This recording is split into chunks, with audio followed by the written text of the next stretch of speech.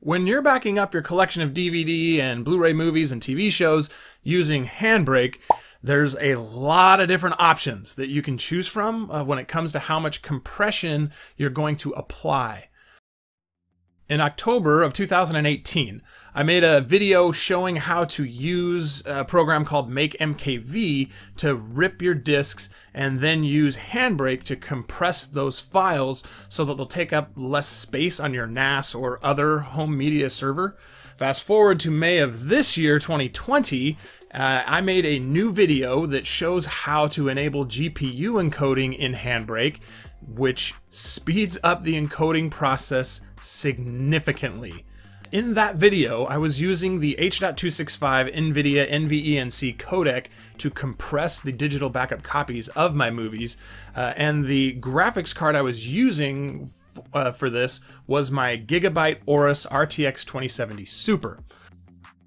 A friend of mine who is interested in backing up his movie collection uh, watched my videos and asked if I knew how much of a difference there is in encoding times between my 2070 Super and other GPUs, uh, because he's not interested in spending a bunch of money on a new graphics card simply to encode his movies. Uh, sadly, I had to tell him that I didn't know because I don't have access to tons of different hardware, um, so I hadn't tested it to find out.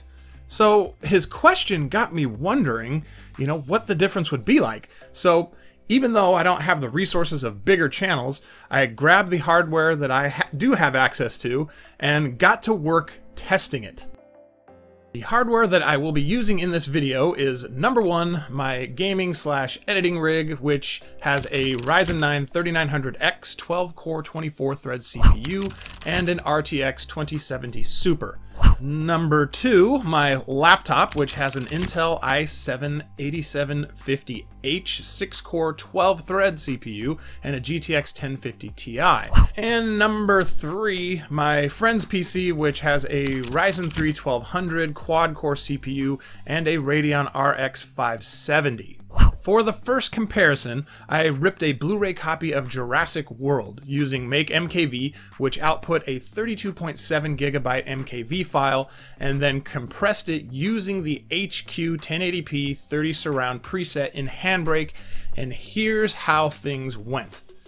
Using just my Ryzen 9 3900X as my control, you know, so no GPU encoding being used uh, and the H.265 codec, it took about an hour and 25 minutes to complete the encoding process. Switching to H.264 uh, sped things up a bit to just over an hour at 61 and a half minutes. Next up was the RTX 2070 Super, which crushed the 3900X's time using H.265 by almost an hour, coming in at around 27 minutes. And now, if you think that's cool, well, wait until you see this next result. Switching to H.264 cut the time down even more to just 12 minutes. I, know, it's freaking insane, right? Uh, whatever NVIDIA is doing with the Turing architecture for video encoding, uh, at least when it comes to the H.264 codec, is nothing short of magical. Now, there may be some of you asking what's the advantages of using H.265 over H.264 or vice versa.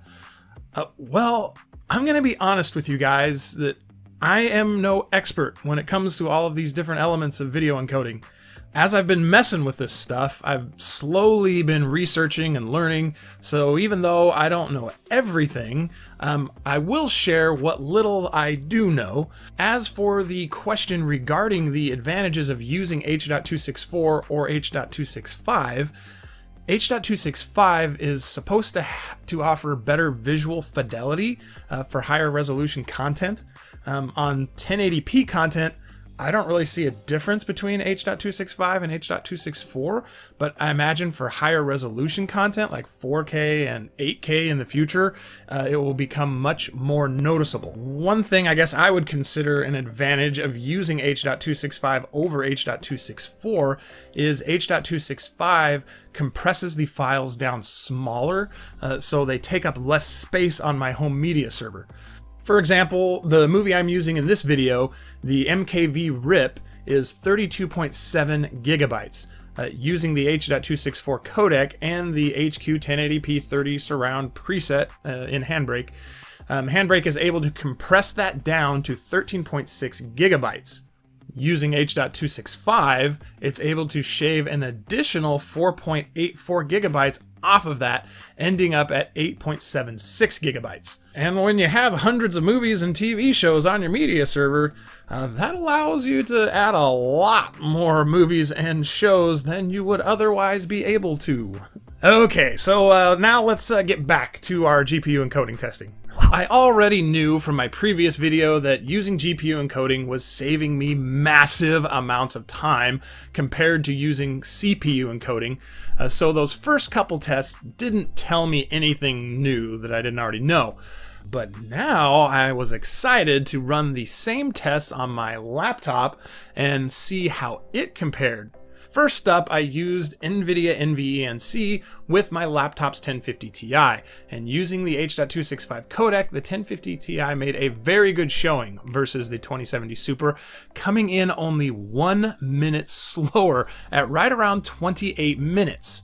The H.264 results using NVIDIA's Pascal architecture aren't as impressive as Turing's but it did speed up the total encoding time by one minute over using H.265, so I guess that's good.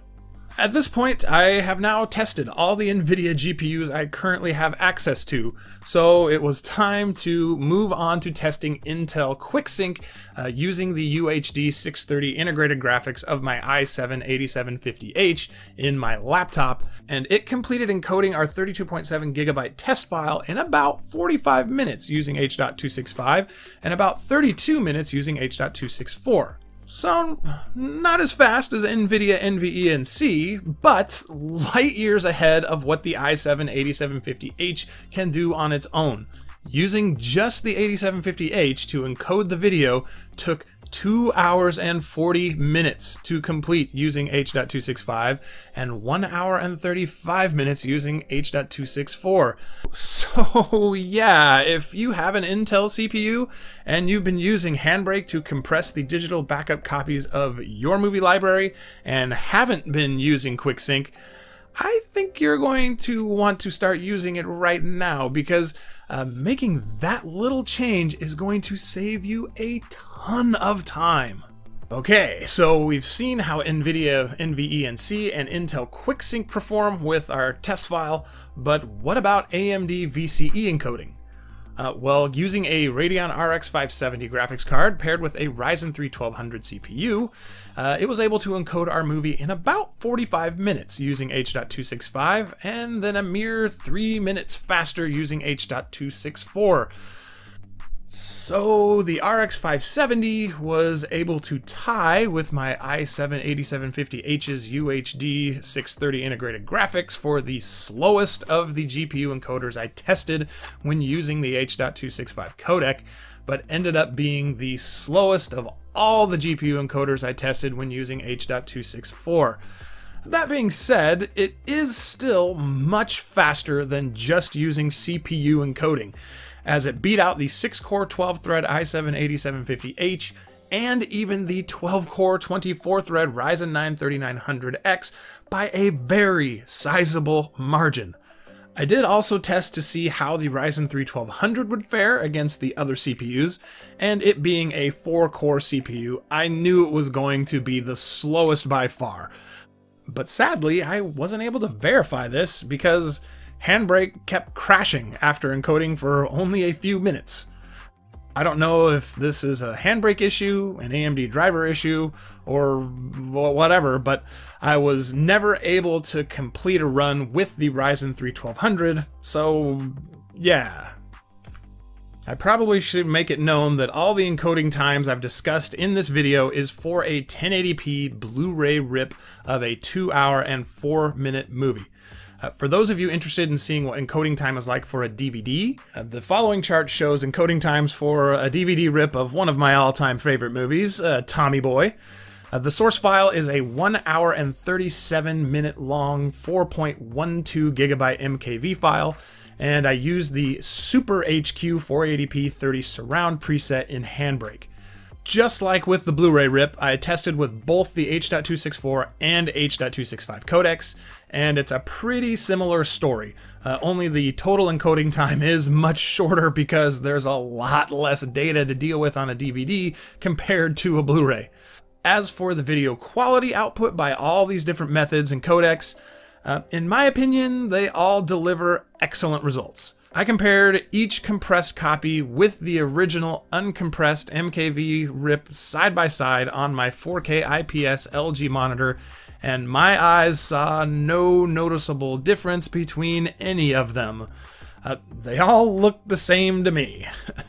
Depending on what hardware you have on your PC, the amount of encoding time is certain to vary from what I show in this video, but the reason I made this video is to give people an idea of what the differences are between the different encoding methods. For now, NVIDIA clearly holds the crown for being able to get the job done the quickest. Hail to the king, baby. Uh, with Intel coming in second and AMD coming in a close third. In my opinion, there is no reason to use CPU encoding any longer. Uh, the time savings that GPU encoding offers is an absolute no-brainer. We're just about to the end of the video, and it's a good thing too, because my room is getting hot. Uh, if you enjoyed the video, I'm sure you've watched enough YouTube uh, to know what to do. Like, comment, share, and subscribe to the channel uh, if you'd like to see more videos like this one. If you'd like to help support the channel uh, while picking up stuff that you need or want, I do have an Amazon store I've placed a link to in the video description where you can purchase different products that I feature in my videos. Thanks for watching. I hope you have a great day. We'll catch you later.